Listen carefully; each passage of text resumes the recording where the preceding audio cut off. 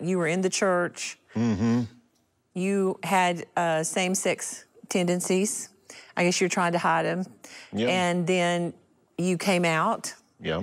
And then you got into a, uh, a would you say, a gay affirming church? Pro gay, gay affirming church. That's And right. And then it was your job to kind of convince men and women that it was okay right. And to try to convince myself, sure. and try to convince Yeah. yourself. Mm-hmm. Yeah. Okay, so pick it up from there. It's been one realization after another. I mean, like a lot of people who have dealt with this, at an early age, I realized I'm attracted to the same sex. Yeah. Then I realized there is a God and there is a way to know God. I heard the gospel.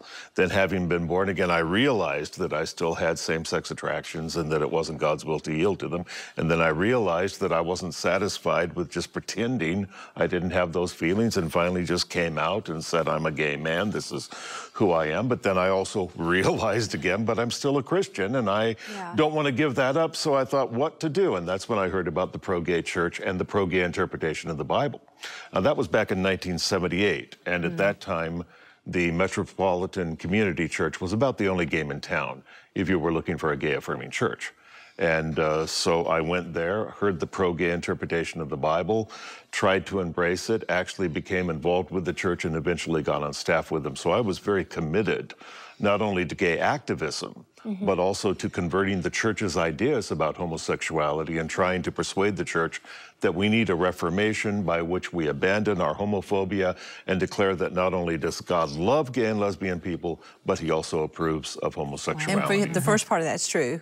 He loves That part's true. everyone. Like Landon was saying, you know, everybody welcome. Absolutely. yeah. So were you conflicted at all, even as you were trying to persuade others that this was okay to be gay and Christian? Yeah, Joni, a lot more than I wanted to let on. Wow. You know, um, I, I would have occasionally friends who had known me when I was in the church earlier come and confront me and say, Joe, you're openly gay, you're promoting this pro gay Christianity. Mm-hmm. Do you really believe this or do you just want to believe it? And I had my answers ready and I was very defiant and very, oh, yeah, I know who I am and so Was- forth. And they'd walk away and then I'd go home and get drunk. Was it just to to drown all the help you justify? I mean, and somehow it helped justify where you were. if you Oh, look, if you've got an issue in your life that you're not ready to submit to God, but you have enough light to know that that's outside of God's will, mm-hmm. you want to see if you can find a way to come to terms with that. Mm-hmm. Yeah. And for me, if I could just convince myself that the Bible condoned what I was doing, mm-hmm. then I could finally say, all right, I can be at peace with this. And believe me, this is going to be the last battlefield. What the Bible says, not Yes. conversion therapy, not same sex marriage. Right. What does the Bible say or what does it not say? And you watch the trend in the not too distant future Yeah. Yeah. is Oh, going to be to happening. make it not only unacceptable, but eventually even criminal to give the full counsel of God, which Yes. is why we have to take this up as a challenge. It is a hill Right worth now. dying on. So, okay, let's find out about the moment where God January 1984, a lot of people were praying for me. This is why I say anybody who knew Joe Dallas in the late 70s, early 80s had every right to give up on him. That was the logical thing to do, but people Yeah. did not. Thank the God some prayers kept going. If it could reach me, it could reach anyone. That's good. There were conversations I had with believers who lovingly confronted me. And most important, there was my own grounding in the Word of God. Right. When people are well grounded in the Word of God, it is pretty darn hard to just push that down. Mm -hmm. And so eventually I had to realize everything in my life is going perfectly. I loved my job. I loved the, the way I was living. I loved my social life, my apartment, everything.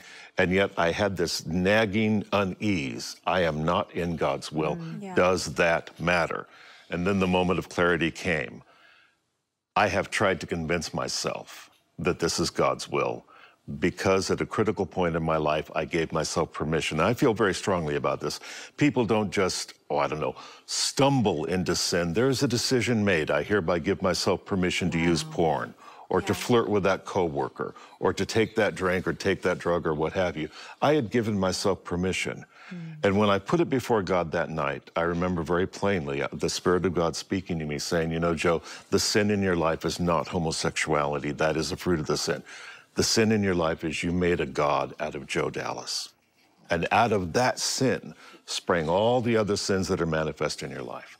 So I am calling you to repent of that, not just mm-hmm. homosexuality. Now, repenting of homosexuality was relatively simple compared to repenting of the selfishness and the self idolatry. That I'm still working on. The homosexuality, that was a lot easier. Yeah. Was it a still small voice that spoke to you? Was it was there a light that came in the room? Like what was that real point of clarity? It was a still small voice and a realization that I knew better and had been telling myself that I didn't. Mm-hmm. And I became tired. You know, hold a basketball underwater for about six years. Your arm is going to get tired. And finally, that sucker is going to come up with a gush. That's exactly what happened to me mm-hmm. that night.